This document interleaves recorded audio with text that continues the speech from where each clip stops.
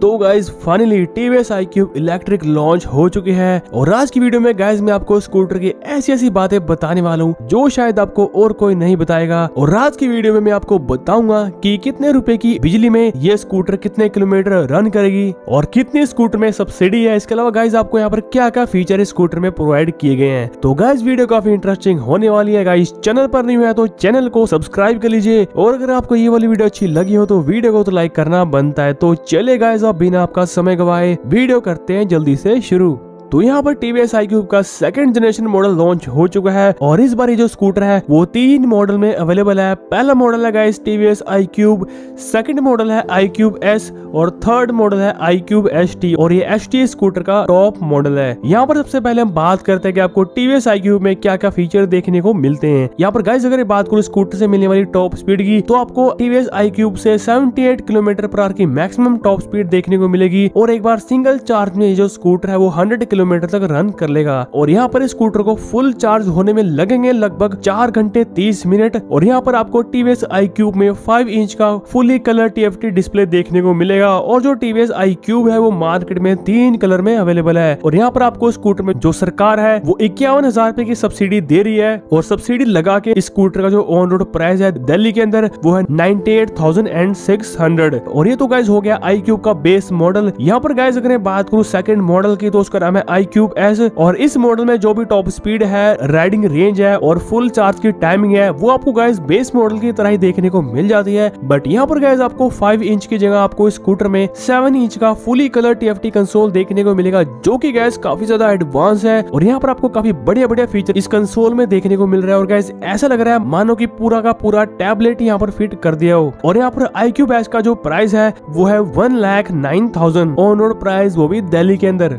यहाँ पर जो थर्ड मॉडल है, उसका नाम है TVS iQube S T और यहाँ पर आई क्यूब एस टी की जो टॉप स्पीड है, वो है 82 किलोमीटर पर आवर और यहाँ पर एक बार सिंगल चार्ज में ये जो स्कूटर है, वो 145 किलोमीटर तक रन कर सकता है। इसके अलावा बात करें चार्जिंग टाइम की तो स्कूटर को लगते हैं चार घंटे छह मिनट फुल चार्ज होने में और यहाँ पर आपको स्कूटर के अंदर सेवन इंच का टच स्क्रीन डिस्प्ले देखने को मिलता है, जो की गैस आई क्यूब एस से काफ़ी ज़्यादा एडवांस है और यहाँ पर इस कंसोल के अंदर आपको काफ़ी सारे कस्टमाइजेशन के ऑप्शन जो है मिल जाते हैं और ऐसे फीचर देने वाली टीवीएस पहली कंपनी है इंडियन मार्केट के अंदर। इसके अलावा आपको टीवीएस आई क्यूब के साथ तीन साल की वारंटी देखने को मिलेगी। वन ईयर का आपको रोड साइड असिस्टेंस देखने को मिलेगा। इसके अलावा गाइज़ अगर आप ये स्कूटर बुक करना चाहते हैं तो सिर्फ़ आप हज़ार रूपए देके स्कूटर को बुक करा सकते हैं। और गाइज़ यहाँ पर आपको स्कूटर से काफ़ी बढ़िया फीचर मिल रहे हैं। अगर इसको कंपेयर किया जाए ओला इलेक्ट्रिक से। और यहाँ पर गाइज़ स्कूटर में सिर्फ़ अठारह रूपए की बिजली लगती है। और अठारह रूपए की बिजली लगा के ये जो स्कूटर है, वो लगभग डेढ़ किलोमीटर तक आसानी से चल सकता है। इसके अलावा बात करें स्कूटर के सस्पेंशन सेटअप के बारे में तो यहाँ पर आपको स्कूटर के फ्रंट में देखने को मिलेगा, टेलीस्कोपिक फॉक सस्पेंशन और आपको स्कूटर के रेयर में देखने को मिलेगा adjustable hydraulic tune shock absorber यहाँ पर बात करें ब्रेक सेटअप के बारे में तो यहाँ पर आपको स्कूटर के फ्रंट में 220 ट्वेंटी mm की फ्रंट में डिस्क ब्रेक देखने को मिलेगी और आपको स्कूटर के रेयर में 130 थर्टी mm की ड्रम ब्रेक जो देखने को मिलने वाली है। और यहाँ पर गैस आपको काफ़ी बढ़िया dual tone alloy wheels scooter में देखने को मिलेंगे और यहाँ पर आपको फ्रंट और रेयर में ट्वेल्व इंच के व्हील देखने को मिलते हैं और जो व्हील की विड्थ है वो आपको फ्रंट और रेयर में 90 mm की देखने को मिल जाती है। इसके अलावा गाइस ये जो स्कूटर है वो IP67 प्रूफ है। तो यहाँ पर गाइस आप इस स्कूटर की वॉशिंग भी आसानी से कर सकते हैं, क्योंकि गाइस टीवीएस ये बोल रहा है की ना ही स्कूटर के अंदर डस्ट जाएगा और ना ही जाएगा वाटर तो ये भी गाइस स्कूटर का काफ़ी बड़ा प्लस पॉइंट है और इसी की वजह से जो आग लगने का खतरा है, वो भी स्कूटर में काफ़ी ज़्यादा कम है। यहाँ पर गाइस बात करते हैं टीवीएस आई क्यूब के की फीचर के, जो कि तीनों ही मॉडल के अंदर आपको यूनिक देखने को मिलेंगे। तो सबसे पहले तो गाइस आपको स्कूटर में फ्लिप की देखने को मिलेगी और यहाँ पर फ्लिप की के अंदर आपको लाइट भी देखने को मिल जाएगी, जिससे गाइस काफ़ी सुंदर फ्लिप की लगेगी। और यहाँ पर आपको स्कूटर के अंदर जियो फेंसिंग वाला फीचर देखने को मिलेगा, जो की ओला इलेक्ट्रिक के अंदर अभी आ रहा है। इसके अलावा गाइस यहाँ पर आपको anti theft alarm live location status crash alert music control side stand indication turn by turn navigation और आपको स्कूटर में लगभग सौ से प्लस फीचर देखने को मिलने वाले हैं। और गाइस अगर इतने फीचर यार ओला इलेक्ट्रिक प्रोवाइड करता है तो गाइज़ उसके क्या ही कहने बट गाइज़ मुझे ये लग रहा कि आने वाले समय में ये जो टीवीएस आई का नया मॉडल है, वो ओला इलेक्ट्रिक और ऐसी बहुत सारी इलेक्ट्रिक कंपनियों की जो मार्केट है, उसको डाउन कर देगा। क्योंकि यहाँ पर गाइज़ आपको ये जो स्कूटर है, वो काफ़ी बढ़िया प्राइस में मिल रहा है। इसके अलावा गाइज़ प्राइस के साथ साथ आपको काफ़ी बढ़िया बढ़िया फीचर स्कूटर में कंपनी ने प्रोवाइड करे हैं। और यहाँ पर सबसे बढ़िया चीज़ स्कूटर में ये है की यहाँ पर आपको स्कूटर के अंदर थर्टी लीटर की बूट स्पेस देखने को मिल रही है। और यहाँ पर बूट स्पेस के अंदर आपको यूएसबी चार्जिंग सॉकेट भी भी देखने को मिल रहा है। और गैस आपको ये वाली स्कूटर कैसी लग रही है, ये तो आपको मुझे प्लीज़ कमेंट करके बताना है। इसके अलावा गैस आपको स्कूटर के रिगार्डिंग कोई भी क्वेश्चन हो तो आप मुझसे कमेंट करके पूछ सकते हो, मैं आपका तभी रिप्लाई कर दूँगा। सो आई होप गैस की आपको ये वाली वीडियो अच्छी लगी होगी। तो गैस अगर आपको ये वाली वीडियो अच्छी लगी है तो वीडियो को लाइक कर देना और इस चैनल को सब्सक्राइब कर देना। तो गैस आपसे बहुत ही जल्द मुलाकात होगी नई वीडियो में नए टॉपिक के साथ। आपका दिन शुभ रहे।